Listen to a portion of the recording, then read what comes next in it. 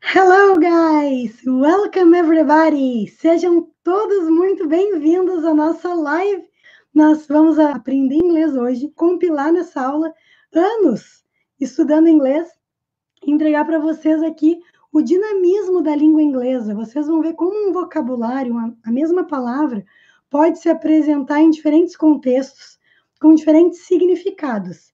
E vocês não precisam se preocupar, nossa, é muita informação para minha cabeça porque aqui é trazer uma espécie de imersão, vocês mergulharem no inglês, terem essa experiência de realmente conhecer o idioma mais a fundo, mesmo que começando do zero, porque a abordagem que eu vou dar é totalmente diferente de cursos tradicionais, certo? Para quem não me conhece, eu sou a professora Renata Valim, eu sou poliglota, professora de idiomas, sou professora de inglês, espanhol, francês e português, e sou especialista em levar as pessoas a falarem inglês em seis meses.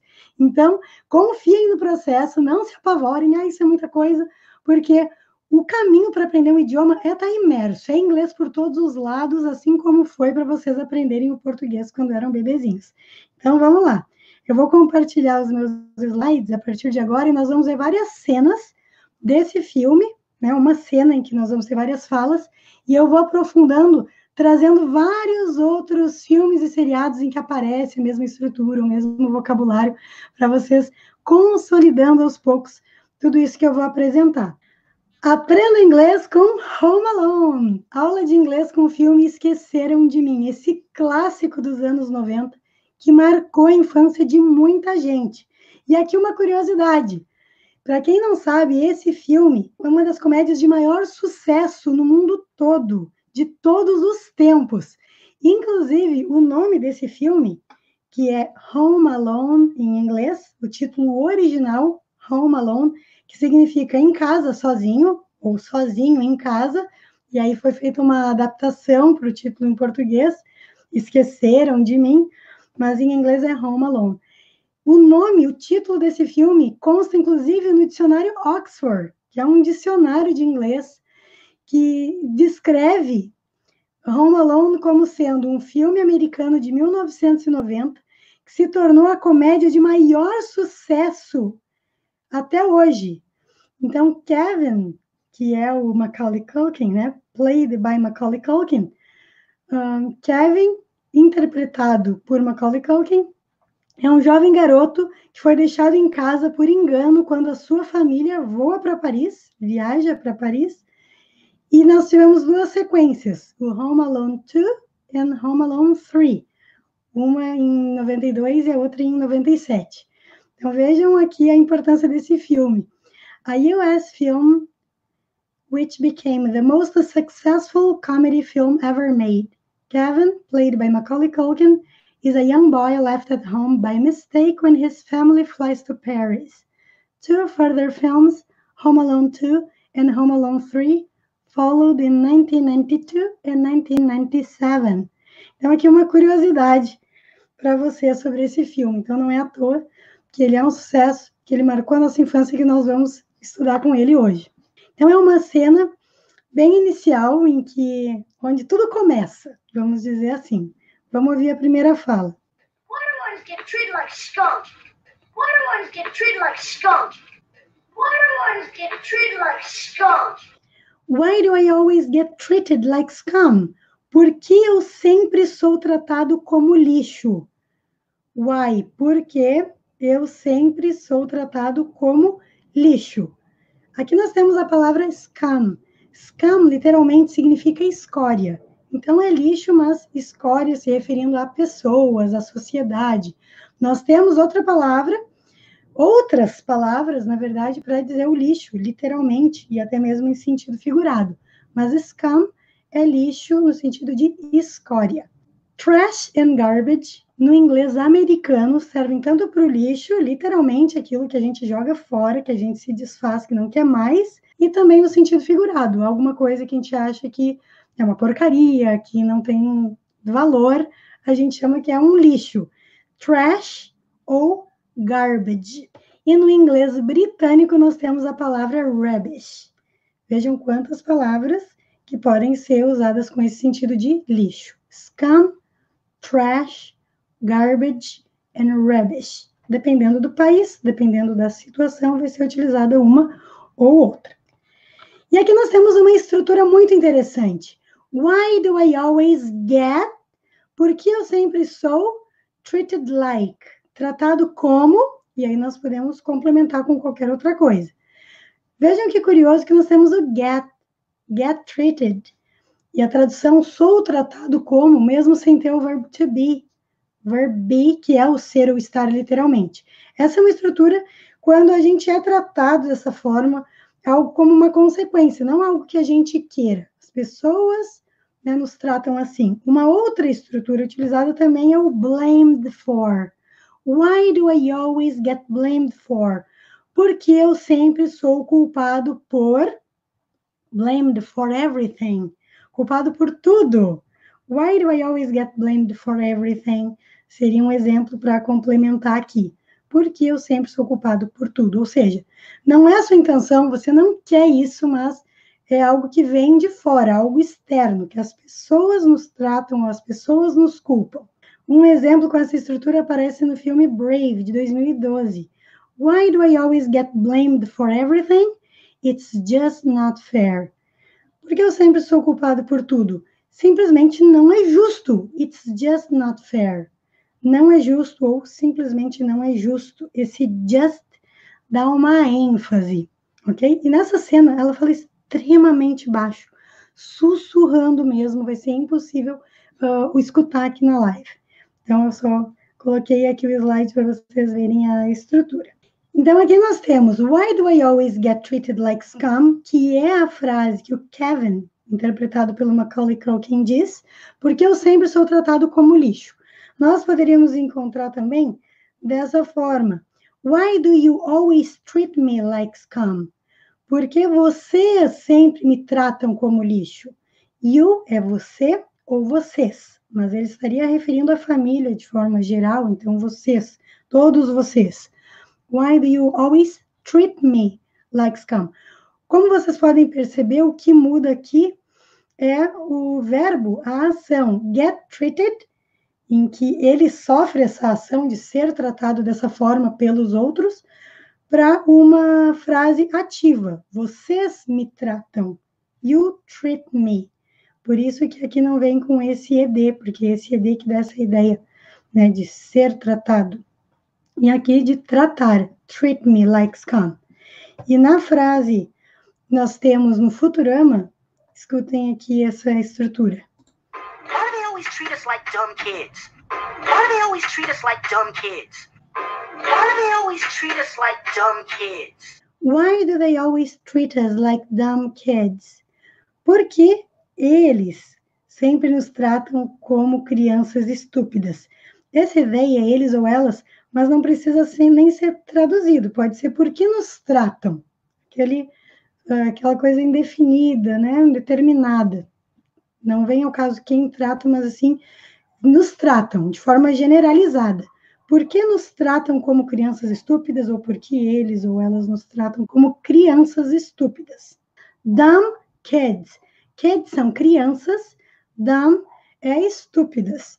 E também, num outro sentido mais literal, uma pessoa uh, que não fala, muda, ok? Dumb, ou então também uh, nesse sentido de estúpida, um, uma palavra que é usada em dois contextos bem diferentes. Aqui é informalmente. Então, nessa frase que tem essa forma ativa, porque eles sempre nos tratam como crianças, nós poderia, poderíamos também fazer a mesma estrutura utilizada no filme Home Alone. Why do we always get treated like kids? Porque nós sempre somos tratados como crianças. Então, vejam uh, as possibilidades que o idioma apresenta. Nesse caso, nós precisamos do we. Why do we always get treated like kids, porque está no plural, us. Esse us é o nos, nos tratam. Então, aqui, ao mudar, vai ficar we. No singular, nós tínhamos I get treated and you always treat me. Então, você sempre vê essa concordância aqui da pessoa, né? Eu e aqui nós. Next sentence, next line, next quote. Próxima fala.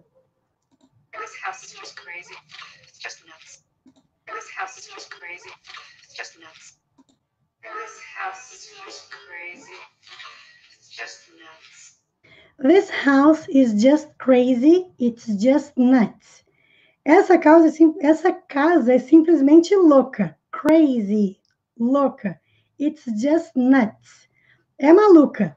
Aqui nós temos a palavra crazy, que é louco, louca, literalmente, e nós temos a palavra nuts, que é informalmente, que é um sinônimo de crazy, para dizer louco, louca, maluco, maluca. E esse just dá uma ênfase, né? Simplesmente ou é muito louca. E essa palavra nuts tem vários sentidos, vários usos. Por exemplo, nuts literalmente são nozes. Nuts, nozes. Um exemplo. Hey, look, look, I'm eating nuts. Hey, look, look, I'm eating nuts. Hey, look, look, I'm eating nuts. Look, look, I'm eating nuts. Olhe, olhe, eu estou comendo nozes. Literalmente, I'm eating nuts. Eu estou comendo nozes. Nós temos aqui a cena, ele que recente tinha comprado, ele está comendo. E é bom a gente explorar todos os nossos sentidos: visual, auditivo, vendo a cena, a imagem, as palavras, tudo isso ajuda também a fixar a forma como é escrito, a forma como é pronunciado e o significado, porque as pessoas geralmente relatam uma dificuldade em memorizar. Eu não consigo lembrar, é porque não está explorando de forma significativa. E além disso, é preciso também a repetição. A gente não aprende nada assim na primeira. É muito difícil, é precisamos ter esse contato constante. No momento que a gente está imerso no inglês, as palavras vão se repetindo e vão surgindo a todo momento, com o mesmo significado com esses outros significados que elas possuem. Por isso a importância de ter essa, esse contato constante com o inglês. Nuts, além de cenoses, também significa porcas. Isso mesmo, vejam esse exemplo do seriado Breaking Bad. And, and washers and nuts and bolts and, and, and washers and nuts and bolts and, and, and washers and nuts and bolts and and and washers and nuts and bolts and e arruelas e porcas e parafusos. Então vejam que o contexto deixa claro qual é o sentido da palavra. Ele está falando de arruelas, parafusos. Não ia ser nozes, mas sim as porcas, esses parafusos. Então, nunca, não se preocupem, porque as palavras, é, pelo contexto, pela situação, a gente sabe o que significa. Claro que, às vezes, a gente só conhece um sentido, imaginem que você só conhecesse nuts, fica como nozes. Ficaria estranho, e arruelas, e nozes, e parafusos. Aí a gente liga um sensor, né, um, um desconfiômetro. Tá estranho isso. Provavelmente essa palavra tem algum outro sentido. E é assim que a gente vai aprendendo aos poucos. Aqui eu, tô, eu procurei trazer uma bagagem de anos estudando inglês, coisas que eu fui descobrindo aos poucos, e apresentar para vocês esse dinamismo da língua. Isso também acontece em português com várias palavras, a própria palavra porca, porcas. Para eles, a palavra nuts pode ser nozes, uh, porcas, ou então uh, maluco, maluca, e para nós, pode ser porca, a fêmea do porco, ou então esse, essas porcas, né, dos parafusos. Ok. Sueli Selma perguntou: crazy é chorar também? Você está confundido com cry. C-R-Y. Cry. Vejam que tem todas as letras de cry. Acho que é por isso que você confundiu. Ok? Bom, nuts, além de ser nozes, porcas, também é louco, doido, maluco, como foi usado no filme Home Alone. Vejam esse exemplo. Esses exemplos, alguns exemplos que eu trouxe aqui.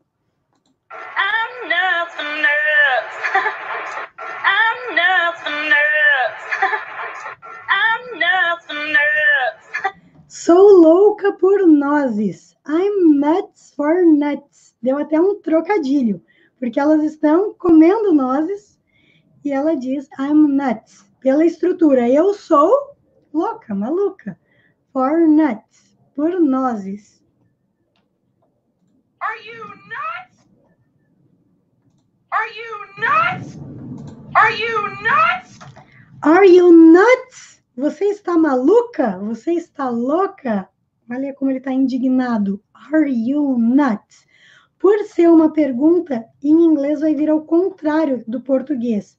Are you nuts? Está você maluca? Essa é a estrutura das perguntas com o be. Ele vem na frente da pessoa da pergunta. Are you nuts? E ainda temos go nuts, que significa ficar louco, ficar louca ou enlouquecer. Vamos ver um exemplo.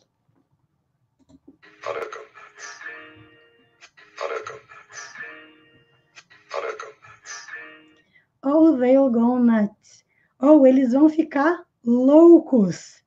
Oh, they'll go nuts. Aqui nós temos will contraído, que é a palavrinha que nós colocamos diante do verbo da ação para indicar que essa frase está no futuro. Will, W-I-L-L, contraído, nós só colocamos um apóstrofo e dois L's. E na pronúncia vai ficar they'll. They'll go nuts. They'll go nuts ou eles vão ficar loucos. Literalmente, go é ir. Ir, go to school, ir à escola, go to work, ir para o trabalho. Mas aí nós temos a estrutura. Go nuts, que é ficar louco, enlouquecer. Outros exemplos. I'm going nuts here. I'm going nuts here. I'm going nuts here. Eu estou enlouquecendo aqui. I'm going nuts. Aquele go nuts agora tá going nuts porque ele tá falando eu estou enlouquecendo aqui com essa bicharada solta. I'm going nuts here. People go nuts for our nuts. People go nuts for our nuts. People go nuts for our nuts. As pessoas ficam loucas pelas nossas nozes. People go nuts. People é as pessoas em geral. Vejam que no inglês não tem uma palavra para dizer as pessoas. É um erro comum colocar the, T-H-E, que significa o, a, os, as, porque está falando de uma maneira geral. E esse the é um artigo definido, ele define quais são as pessoas que nós estamos falando, um determinado grupo, e nós temos que especificar na frase. Agora, se as pessoas em geral, people, sem esse artigo na frente, People go nuts for our nuts. As pessoas ficam loucas pelas nossas nozes. E ele fala isso dentro do supermercado. Próxima fala do Home Alone. Esqueceram de mim. How come you bring more cheese pizzas? How come you bring more cheese pizzas? How come you bring more cheese pizzas? Por que você não trouxe mais pizzas de queijo? How come? Essa é uma estrutura muito interessante que nós vamos ver mais a fundo, porque não pode ser traduzida ao pé da letra. How é como, come é vir, e aí não encaixa porque tem que ser olhado como um conjunto. You didn't bring more cheese pizzas. Você não trouxe. Bring é o verbo trazer. More cheese pizzas. Mais pizzas de queijo.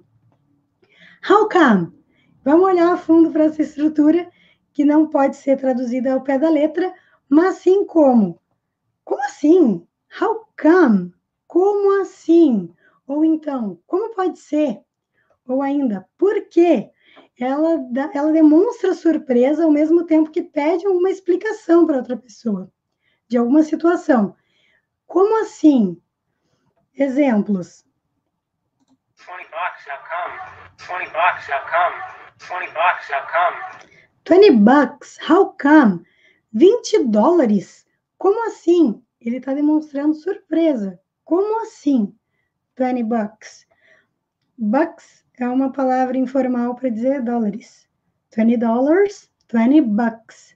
How come? How come? Vejam também o dinamismo da pronúncia em inglês, que aqui esse O tem som de A, how, e aqui som de A, come. How come? 20 bucks. Aqui nós podemos pronunciar ou não esse T. Vocês podem ouvir ou dizer 20 ou então 20. 20 bucks. How come you're late? I had car trouble. How come you're late? I had car trouble. How come you're late? I had car trouble. How come you're late? Por que você está atrasado? Como você pode estar atrasado? I had car trouble. Tive problema com o carro. Trouble é problema, é sinônimo de problem. I had car trouble. Tive problema com o carro. Had é o passado de have, que é ter. Late é tarde ou atrasado. O contexto vai nos deixar claro se é tarde ou atrasado. Por que você está atrasado? How come you're late? Esse how come, ele é diferente do why. Why, que é por quê? Porque ele tem uma carga de surpresa embutida nele. Quando a gente fala how come you're late. Hey, how come you're not dressed? You're gonna be late. Hey, come you're not dressed? You're gonna be late. Hey, how come you're not dressed? You're gonna be late. Hey, how come you're not dressed? You're gonna be late. Ei, por que você não está vestido? Você vai se atrasar. Ou como você pode ainda não estar vestido? Você vai se atrasar. Então aqui o how come you're not dressed. Dressed com som de T. Como você ainda não está vestido? You're gonna be late. É o mesmo que you're going to be late. You're gonna be late. Essa é uma escrita informal que transparece a forma como eles falam. You're gonna be late. Próxima fala do Home Alone. Nice tip. Thanks a lot. Thanks. Nice tip. Thanks a lot. Thanks. Nice tip. Thanks a lot. Thanks. Nice tip, thanks a lot. Thanks. Aqui nós temos bela gorjeta. Nice, que é legal. Belo, bela, bonito, bonita, simpático, simpática, agradável. Prazer na frase nice to meet you. Prazer em conhecê-lo. Tem essa ideia positiva, uma carga positiva de significado. Nice tip. Tip é gorjeta, mas também tem outros significados que eu vou apresentar aqui. E duas formas diferentes de agradecer. Thanks a lot, sendo mais, sendo mais enfático. Thanks a lot, muito obrigado. Thanks, obrigada. O português tem o obrigado e o obrigada. O inglês não. Tanto homens quanto mulheres podem dizer a mesma palavra, não vai mudar nada. Thanks a lot, muito obrigado, é o mesmo que thanks very much ou thanks so much. Muito obrigada. Então aqui nós temos tip. Tip. O que é tip? Nós temos tip com o sentido de ponta. Uma ponta de alguma coisa. Querem ver alguns exemplos? Tip of the iceberg. Tip of the iceberg. Tip of the iceberg. Tip of the iceberg. Ponta do iceberg, aportuguesando, porque em inglês é iceberg. Tip of the iceberg. E prestem atenção na forma como eles pronunciam esse T. Tip, T, T. Ele é aspirado, soltando o ar, empurrando o ar para frente. Tip of the iceberg. I want you to look at the tip of my pen. All right. I want you to look at the tip of my pen. All right. I want you to look at the tip of my pen. All right. I want you to look at the tip of my pen, alright? I want you to look. Eu quero que você olhe at the tip of my pen. Para a ponta da minha caneta. Para a ponta da minha caneta. At pode ser em, no, na, mas também é para, porque em inglês dizer olhar para é look at. Look at. Olhar para. É uma estrutura. The tip of my pen, a ponta da minha caneta. Pen é caneta, pencil é lápis. As pessoas costumam confundir essas duas palavras, mas lembrem-se que pencil termina com L de lápis. E vocês não vão mais se confundir. Alright? Certo? Tudo bem? Então vejam o contexto. Uh, the tip of my pen, a ponta da minha caneta. Tip of the tongue, teeth in the lips. Tip of the tongue, teeth in the lips. Tip of the tongue, teeth in the lips. Aqui nós temos uma fala do filme Escola de Rock. Tip of the tongue. Ponta da língua. Tip of the tongue. Tongue. Teeth. Dentes. And the lips. Aqui já aprendemos até as partes do corpo. Ponta da língua, dentes e lábios. Teeth é plural, dentes. É um plural irregular, que mesmo não terminando em S, essa palavra está no plural. No singular é com dois Os, T-O-O-T-H, tooth. Tooth, um dente, teeth, dentes. Tip of the tongue, e aqui tem mais um exemplo. It's on the tip of my tongue. It's on the tip of my tongue. It's on the tip of my tongue. Vejam os detalhes. It's on the tip of my tongue. Está na ponta da língua. Estar na ponta da língua, a preposition que nós utilizamos é on. On the tip of my tongue. E eles dizem na ponta da minha língua. Em inglês, gente, em português, em português a gente costuma dizer apenas está na ponta da língua. Em inglês, está na ponta da minha língua. It's on the tip of my tongue. Eu até destaquei para vocês compararem essas diferenças com o português. Tip, além de ser ponta, e nós vimos vários exemplos, ponta do iceberg, ponta da língua, ponta da caneta, nós também temos tip com o sentido de dica. É muito comum vocês encontrarem na internet English tips. English tips, dicas de inglês. Então é uma dica. Vejam alguns exemplos. Safety tip number one, don't touch that. Safety tip number one, don't touch that. Safety tip number one, don't touch that. Safety tip number one, don't touch that. Dica de segurança número um, don't touch that. Não toque nisso. Então, uma dica de segurança, safety tip. Outro exemplo, Thanks for the tip. Thanks for the tip. Thanks for the tip. Thanks for the tip. thanks for the tip. Obrigado pela dica. Thanks for the tip. Obrigado ou obrigada, se for uma mulher dizendo. Thanks for the tip. Em programas de televisão, Tip number two. Tip number two. Tip number two. Tip number two. Dica número dois. Tip number two.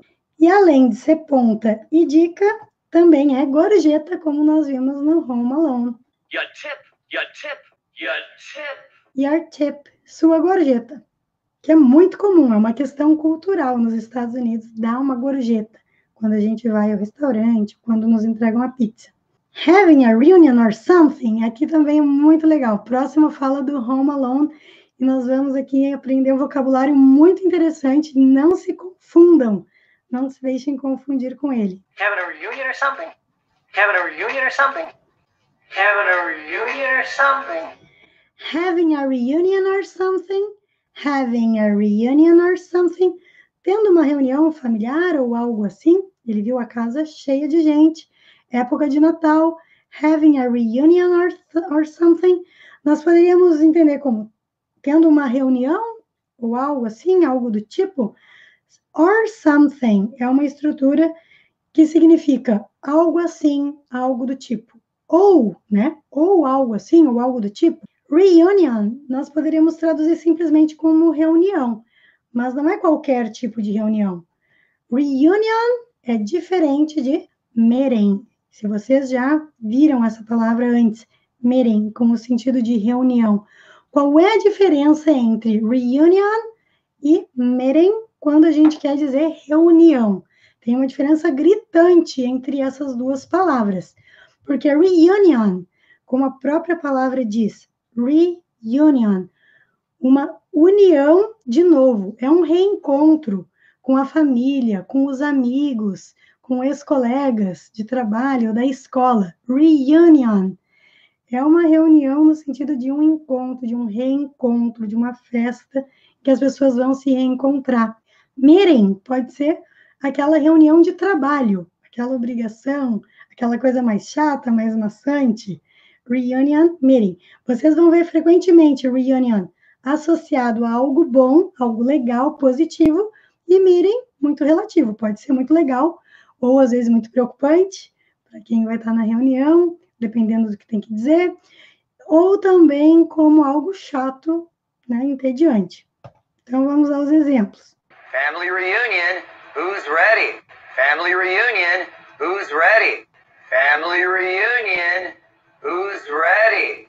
Family reunion, who's ready? Reunião familiar. Quem está pronto?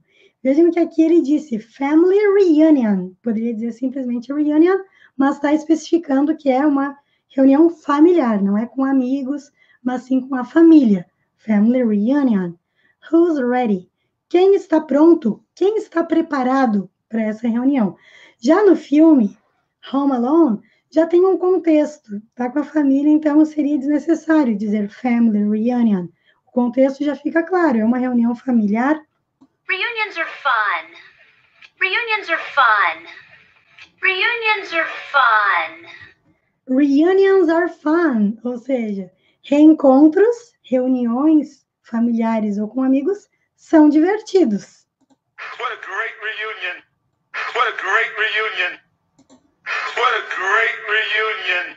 What a great reunion! Que ótimo encontro, que ótima reunião entre amigos, né? Então, great, uma palavra extremamente positiva, ótima, ótimo, encontro, reencontro. Romantic reunions, government meetings, romantic reunions, government meetings, romantic reunions, government meetings. E aqui fica extremamente clara essa diferença, porque estão usando as duas palavras na mesma frase: romantic reunions, government meetings. Encontros românticos, reuniões do governo. Vejam que usado palavras diferentes, porque são completamente diferentes em inglês, embora as duas poderiam ser traduzidas como reuniões no português, reuniões românticas. Mas então é o mesmo que um encontro romântico, um reencontro romântico. Government, government meetings.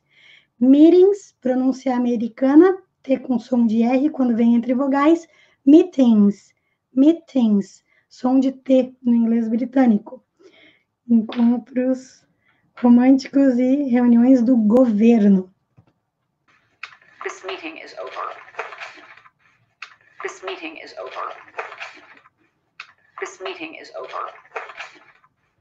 This meeting is over. Esta reunião is over. Essas duas palavras têm a ideia de terminou, acabou. Vejam a mesa de reunião. Então, nesse caso, é meeting. É a palavra utilizada. Family meeting! Family meeting! Family meeting! E aqui, family meeting, não é family reunion, porque o objetivo dessa reunião é totalmente diferente. Não é um encontro para celebrar, mas sim uma reunião de família. Olha a cara deles apavorados. Alguma coisa eles aprontaram. Reunião de família, vamos resolver esse problema. Então, nós podemos ter também family meeting ou family reunion. Tudo depende qual é o objetivo desse encontro que vão reunir as pessoas. Próxima frase do Home Alone. Oh, no, my husband's brother transferred to Paris last summer. Oh, no, my husband's brother transferred to Paris last summer. Oh, no, my husband's brother transferred to Paris last summer. Oh no, my husband's brother trans- transferred to Paris last summer. Oh no, my husband's brother transferred to Paris last summer. Aqui ela está respondendo a pergunta do policial se ela estava tendo uma reunião de, de família. Having a reunion or something? Não, não. O irmão do meu marido foi transferido para Paris no último verão, no verão passado. Both of his kids are still going to school here. And both of his kids are still going to school here. And both of his kids are still going to school here. And both of his kids are still going to school here. E os dois filhos dele ainda estão frequentando a escola aqui. E é por isso que as crianças estão lá. And both of his kids. Aqui nós temos uma palavra muito interessante do inglês que é both. Both of his kids. Toda essa parte em laranja significa os dois filhos, uh, and both of his kids, os dois filhos dele. His é dele. Kids é filhos ou crianças, e o contexto vai deixar claro. Both é os dois. Ambos. Still, ainda. Still. Going, indo à escola aqui, é o mesmo que frequentando a escola aqui. Como ainda estão no ano escolar, não puderam já ir com o pai, ficaram ali até terminar o ano. Então, both. Vamos focar nessa palavra both e ver como usá-la em inglês, porque ela apesar de sempre ter essa ideia de os dois, ambos, ela admite várias estruturas, várias combinações. Então, eu vou apresentar algumas delas para vocês agora aqui. Both, os dois, ambos. Vamos ver alguns exemplos com esse sentido. I'm saying you both are making good points. I'm saying you both are making good points. I'm saying you both are making good points. I'm saying you both are making good points. Eu estou dizendo que vocês dois estão levantando pontos importantes. Are making good points. Points são pontos, questões, argumentos. Good points, importantes, relevantes, interessantes. Se eles são bons, eles são importantes. Making, que é um verbo fazer, make, é o verbo fazer literalmente, mas aqui ele está nessa estrutura. Make good points, levantar pontos importantes. You both, vocês dois. Vejam, ele está falando com duas pessoas. I'm saying you both. Tommen and Marcella are good, decent children, both of them. Tommen and Marcella are good, decent children, both of them. Tommen and Marcella good, decent children, both of them. Tommen and Marcella are good, decent children, both of them. Tá falando de duas crianças, Tommen and Marcella, como é o do seriado Game of Thrones, e é uma pronúncia britânica, ele não pronuncia o R, Marcella, Marcella, are good, são bons, decent children, crianças decentes, e ele está sendo bem enfático, both of them. Os dois. Não tem como traduzir literalmente ambos deles. É, daria talvez ambos deles, mas nós não tenderíamos a falar dessa forma. Então a ideia, both of them, os dois. There are good editors, there are bad editors. You'll have both. There are good editors, there are bad editors. You'll have both. There are good editors, there are bad editors. You'll have both. There are good editors, there are bad editors, you'll have both. Existem bons editores, existem maus editores. Você terá os dois, both. Pode ser usada sozinha essa palavra também, mas pode ser usada com essas outras formas que nós vimos e mais algumas outras. There are good editors. Vejam que a letra D, né, ele é acostumado a pronunciar bem na pontinha da língua, editors editors, o T entre vogais com som de R. There are good editors, there are bad editors. You'll have both. Você vai ter, você terá os dois. Penny's qualities, both good and bad, are what make her who she is. A Penny's qualities, both good and bad, are what make her who she is. Penny's qualities, both good and bad, are what make her who she is. Penny's qualities, both good and bad, are what make her who she is. As características da Penny, as qualidades da Penny, as boas e as ruins. Vejam que both tem essa ideia de duas coisas, então sempre vai estar associada a duas pessoas, a duas coisas, e não necessariamente vai ser em português equivalente a dos dois, ambos, both good and bad, as boas e as ruins nós podemos utilizar a palavra both seguida dessas duas coisas que nós estamos nos referindo. Both good and bad. Boas e ruins. Are what make her who she is. São o que tornam, são o que a tornam, porque seria incorreto dizer no português que tornam ela, embora que oralmente é a forma como a maioria das pessoas diz. Não é o que a torna quem ela é, é o que fazem dela quem ela é. Também poderia ser, porque make é fazer ou tornar.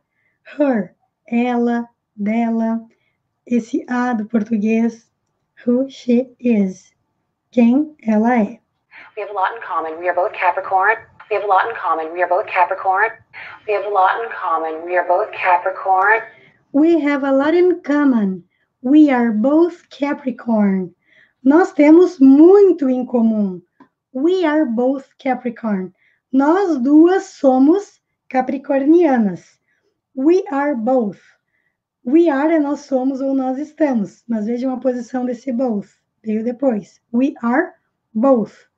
Nós duas somos capricornianos. Both tem essa ideia de as duas. Both.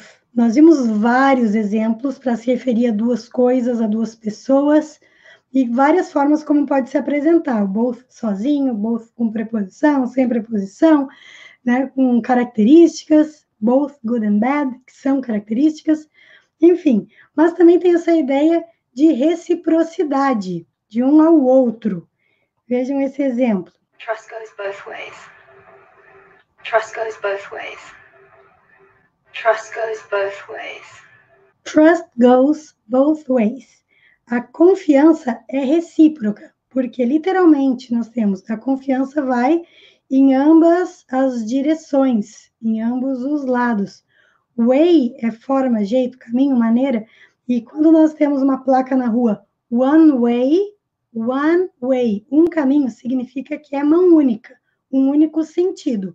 Both ways quer dizer que vai para os dois lados, para as duas direções. E isso é a confiança. As pessoas devem confiar uma na outra, ela é recíproca. Trust goes both ways. Vejam que interessante esse vocabulário. Próxima frase do Home Alone. And I he missed the whole family. And I guess he missed the whole family. And I guess he missed the whole family. And I guess he missed the whole family. Ou seja, o policial perguntou se ela estava tendo uma reunião familiar, ela disse que não, o irmão do marido foi transferido para Paris, as crianças ainda estão lá frequentando a escola, e ela complementa dizendo, and I guess he missed the whole family. E eu acho que ele sentiu falta, sentiu saudade de toda a família. I guess he missed. I guess é o mesmo que I think. Eu acho. He missed. Ele sentiu falta, sentiu saudade. D com som de T aqui. He missed. The whole family. Toda a família. A família inteira. E vem outra palavra para dizer inteiro, inteira, que é entire. Whole and entire são sinônimos. Whole and entire. É possível que vocês já conhecessem uma ou a outra, ou as duas, e terem dúvida, mas dá para usar tanto uma quanto a outra, como já me perguntaram algumas vezes. E aqui está a resposta. Yes! Sim, vejam esses exemplos. The whole family's here. The whole family's here. A família inteira, ou toda a família, porque é o mesmo, é a mesma coisa, está aqui. Esse apóstrofo S é o is, the verb to be. Está aqui. The whole family is here. A família inteira está aqui. The entire family together. The entire family together. The entire family together. The entire family together. Toda a família junta. Toda a família reunida. The entire family together. Ela poderia ter dito the whole family together e estaria tudo certo. This is the best thing for the entire family. This is the best thing for the entire family. This is the best thing for the entire family. This is the best thing for the entire family. Esta é a melhor coisa para toda a família. The entire family, the whole family. Outra frase do Home Alone. He's giving us all this trip to Paris for the holidays. He's giving us all this trip to Paris for the holidays. He's giving us all this trip to Paris for the holidays. He's giving us all this trip to Paris for the holidays. He's giving us all this trip to Paris for the holidays. Ele está dando a todos nós, né? Está nos dando, mas está sendo mais enfático, porque tem all. Está dando a todos nós essa viagem para Paris para as festas. This trip, nós podemos entender no português, está dando uma viagem para Paris. E aqui ela está dizendo exatamente this trip, essa viagem, essa viagem que eles vão fazer amanhã. E ela já vai comentar com ele sobre isso. Ele está nos dando, está dando a todos nós uma viagem a Paris para as festas, for the holidays. As festas de final de ano, se costuma dizer holidays. Holidays é sinônimo de vacation, né? Não necessariamente sinônimo, mas tem o mesmo significado, que é férias. Porém, no inglês britânico se costuma chamar férias como holidays. E no inglês americano, vacation. Vacation, vacation ou vacation. Só que holidays nos Estados Unidos significam as festas. Por exemplo, Happy holidays. Happy holidays. Happy holidays. Happy Holidays. Boas festas. Literalmente, estão dizendo feliz, né? Felizes festas, festas felizes, que para nós é o equivalente a boas festas. E é uma época de férias para as crianças também, então faz todo sentido, porque o ano lá começa, o ano letivo começa em agosto, e nessa época do Natal e Ano Novo são as férias de inverno que eles têm, o recesso escolar, do Natal até Dia de Reis, né, em média. Essas semanas, então, Happy Holidays acaba sendo boas festas, boas férias, enfim. Mas holidays na Grã-Bretanha significa férias e nos Estados Unidos se costuma utilizar a palavra vacation, férias do trabalho, férias escolares, enfim. E também na, nas faculdades é muito comum ter a spring break, que é uma, um intervalo ali, um, um recesso de primavera. Break, break como recesso, que são umas pequenas férias também. Só para concluir, porque break, né? Porque break significa quebrar, literalmente. Então, é uma quebra, é uma pausa. É a mesma como quando se diz a coffee break, é um intervalo para o café. Então, para vocês entenderem esse break. B-R-E-A-K. B-R-A-E-K. Próxima frase. So we can be together. So we can be together. So we can be together. So we can be together. So we can be together. Assim, nós podemos ficar juntos, ou para que nós possamos ficar juntos. So we can be together. Então, ele pagou essa viagem para todos poderem ir a Paris e eles passarem o Natal juntos. So we can be together. You're taking a trip to Paris. You're taking a trip to Paris. You're taking a trip to Paris. You're taking a trip to Paris. Vocês vão fazer uma viagem a Paris? You're taking a trip to Paris. Ele demonstra todo surpreso, né? Segundo as intenções. You're taking a trip. O curioso dessa estrutura é que nós, traduzindo literalmente, ela está no presente. Vocês, porque you pode ser você ou vocês, singular ou plural, mas aqui nós temos o contexto. Ela disse que todos eles ganharam essa viagem a Paris, então nós sabemos que esse you né, é o plural. Inclusive, aqui não pegou o meu S, vamos incluí-lo. Então, you're taking a trip to Paris. Vocês estão fazendo uma viagem para Paris, não quer dizer que estão fazendo agora, nesse exato momento. Essa estrutura é utilizada para algo no futuro que vai acontecer em breve. Vocês vão fazer uma viagem para Paris? No próprio português, nós podemos dizer: vocês estão fazendo uma viagem para Paris? Né? Mas fica essa ideia subentendida que é em breve, não nesse exato segundo. Por isso, o contexto é extremamente importante. Nós temos também, além de take a trip, vejam que é essa expressão que ele utiliza, you're taking a trip to Paris. You're taking a trip, fazendo uma viagem ou fazer uma viagem. Trip é viagem. A trip, uma viagem. Take a trip é a estrutura, a expressão em inglês para dizer fazer uma viagem. Mas nós também temos o verbo, a ação travel, que é viajar. Travel. Em alguns contextos, travel também é entendido como viagem. Foreign travel, viagem para o exterior. Business travel, viagem a trabalho. Mas, em geral, travel é a ação de viajar. Trip é a viagem. Take a trip, sinônimo de travel. Exemplos. Lord Bolton's traveling tomorrow as well. Lord Bolton's traveling tomorrow as well. Lord Bolton's traveling tomorrow as well. Lord Bolton's traveling tomorrow as well. Uma fala de Game of Thrones. Lord Bolton's traveling tomorrow as well. Lord Bolton, Lord Bolton, vai viajar amanhã também. Vejam que essa estrutura é a mesma do Home Alone.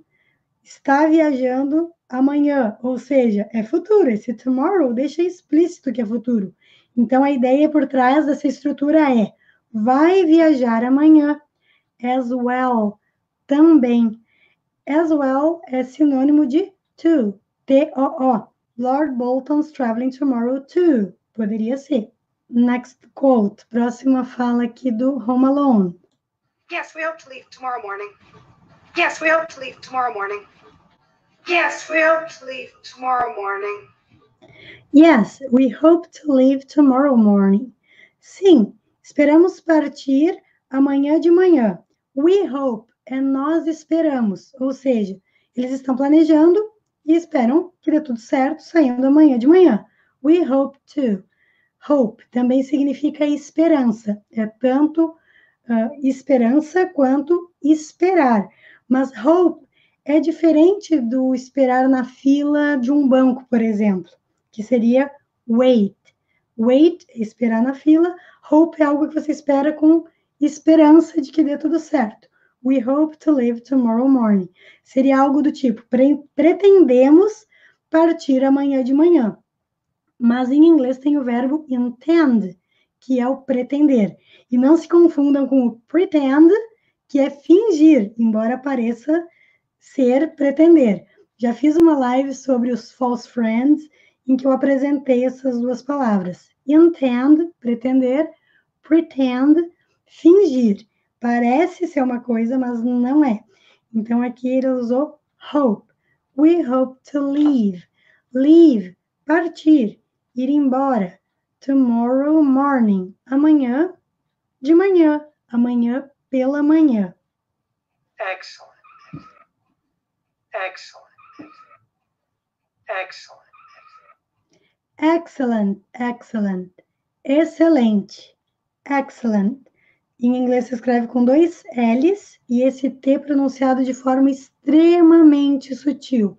Excellent, excellent. E também a questão da sílaba mais forte, porque essas palavras mais longas geralmente têm a sílaba tônica, que é onde nós colocamos a ênfase na hora de pronunciar, diferente do português. Para nós é excelente, para eles é excellent, excellent. Lá no início da palavra já coloca toda a ênfase. If you'll excuse me, this one's a little out of sorts. If you'll excuse me, this one's a little out of sorts. If you'll excuse me, this one's a little out of sorts. If you'll excuse me, this one's a little out of sorts. If you'll excuse me, this one's a little out of sorts. Aqui nós temos uma expressão muito legal em inglês. If you'll excuse me, se você me dá licença. Excuse me, com licença, por favor. If you'll excuse me, se você me dá licença, this one's a little out of sorts. Este aqui, ele está falando do Kevin, this one's, este aqui está a little, um pouco, out of sorts. Out of sorts, ali ele está visivelmente irritado. Mas out of sorts é uma expressão que pode significar chateado, irritado, indisposto, enjoado, quando a pessoa não está se sentindo muito bem. Então, desde que ela está chateada, entediada, irritada, indisposta, meio doente, são várias situações e é o contexto que vai deixar claro o semblante da pessoa, a expressão dela. Vejam alguns exemplos.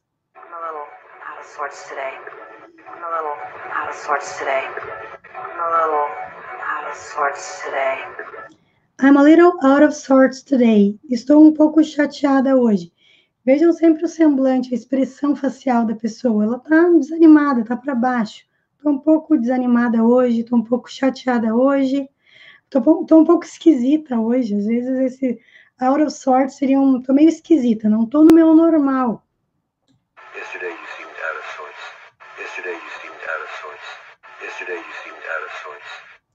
Yesterday you seemed out of sorts. Ontem você parecia chateado. Yesterday you seemed, seemed, sem pronunciar a letra E.